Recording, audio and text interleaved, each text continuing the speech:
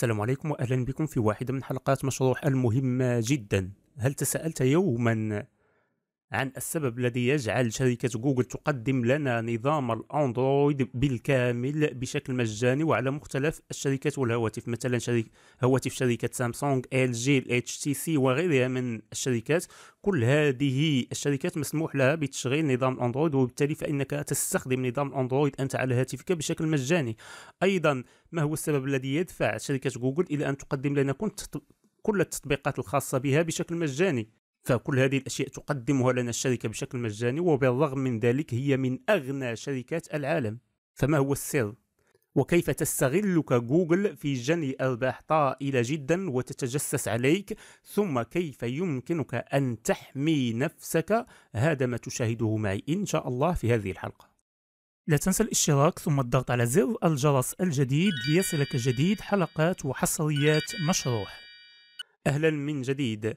إذا شركة جوجل بطبيعة الحال عندما تقدم لنا نظام الأندرويد بمختلف نسخه من Jelly Bean ال KitKat Lollipop Marshmallow Nougat و Sandwich وغيرها من النسخ السابقة والحالية. كل هذه النسخ تقدم لنا بشكل مجاني وكل التطبيقات تقدمها لنا أيضا بشكل مجاني. هذا لأنها تقوم ببيع بياناتنا الشخصية. نقصد بذلك المحادثات التي تجريها على هاتفك المواقع التي تدخل لها الرسائل التي تتواصل مع أصدقائك من خلالها. كل هذه الأشياء تجمع من خلالها شركة جوجل معلومات حول نشاطك ما هي الأشياء التي تهتم لها وهكذا.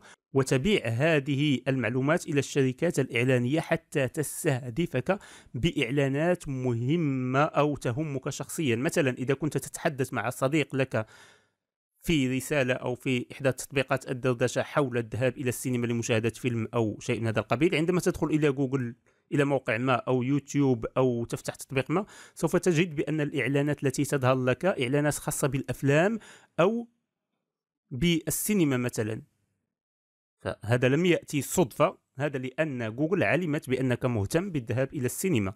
وهكذا عندما تكون مثلا تتحدث مع صديق أو تدخل إلى مواقع رياضية عندما تدخل إلى مواقع أخرى أو يوتيوب أو أي تطبيق سوف تجد إعلانات لها علاقة بالرياضة وهكذا.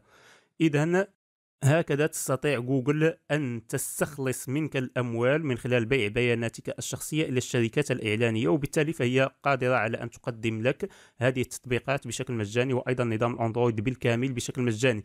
فكيف يمكنك أن تحمي نفسك وتمنع جوجل من جمع هذه البيانات الشخصية بك الخاصة؟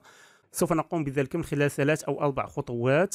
نبدأ بالخطوة الأولى. تذهب أولا إلى الإعدادات. في هاتفك ثم تبحث عن خدمة جوجل. إذا لم تجدها في الإعلان في الإعدادات هنا يمكنك أن تستخدم خانة البحث وتكتب فقط جوجل على هذا الشكل مثلا. كما تشاهد معي سوف يعطيك جوجل. بعد ذلك مباشرة ننزل إلى قسم ال Ads أو الإعلانات. نضغط عليه. بعدها مباشرة نحن نقوم بتفعيل هذا الخيار. Opt out of ads personalization. هذا يعني بأننا الآن قمنا بمنع شركة جوجل من جمع البيانات الخاصة بنا من خلال التطبيقات وبالتالي بيعها إلى الشركات. وهذه هي الخطوة الأولى. لكن ماذا عن المعلومات التي تم جمعها من قبل؟ يعني طيلة هذه السنوات وأنت تستخدم هاتفك فماذا عن هذه البيانات التي تم جمعها كل هذه المدة؟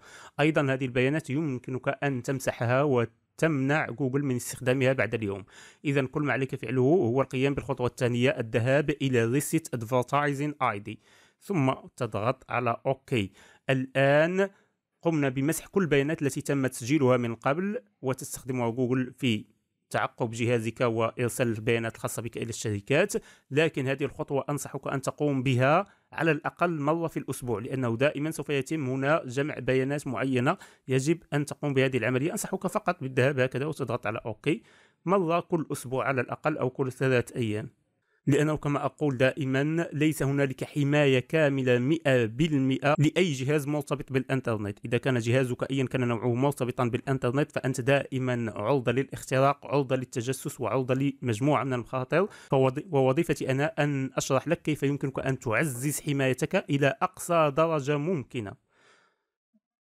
ولن أكذب عليك وأقول لك بأني أقدم لك الحماية بنسبة 100% فمن يقول هذا إما كاذب أو جاهل لا يعلم ما الذي يتكلم عنه.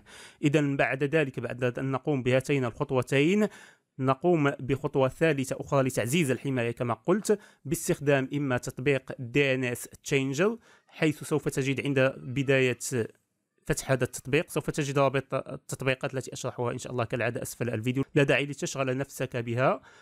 سوف تجده بداية هكذا. في جوجل DNS بما أنك تستخدم نظام أندرويد فتلقائيا تستخدم جوجل DNS هذا في الغالب. اذا أنصحك أنا بالضغط هنا ثم تختار أي خدمة من هذه الخدمات. شخصيا أفضل دائما خدمة ال Open DNS واحدة من خدمات DNS الشهيرة جدا والموثوقة.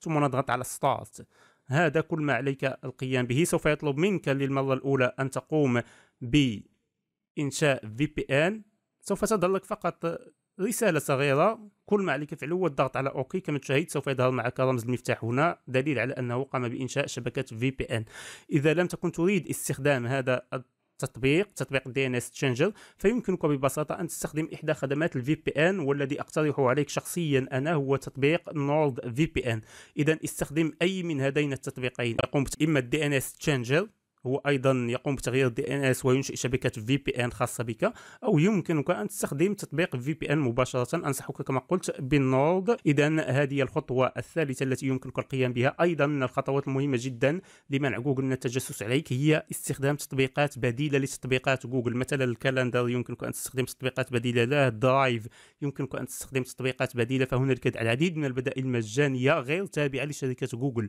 وتابعة لمطورين يعني منفردين أشخاص أشخاص مثلي ومثلك ليست شركات وأشياء من هذا القبيل وبالتالي لا يستطيعون جمع معلوماتك ولا يهتمون أصلا بجمع هذه البيانات.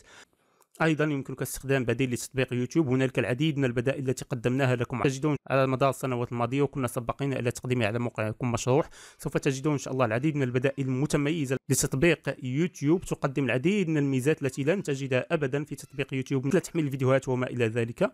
سوف تجدون إن شاء الله روابط هذه الحلقات. مع روابط التطبيقات التي قدمتها لكم أيضا في هذه الحلقة. كل ذلك كالعادة أسفل الفيديو. بهذا نكون قد وصلنا إلى نهاية حلقتنا هذه. شجعونا بلايك ثم مشاركة للحلقة والاشتراك في القناة ليصلكم جديد. مشروح وعلى أمل اللقاء بكم إن شاء الله في الحلقة المقبلة. دمتم جميعا في أمان الله.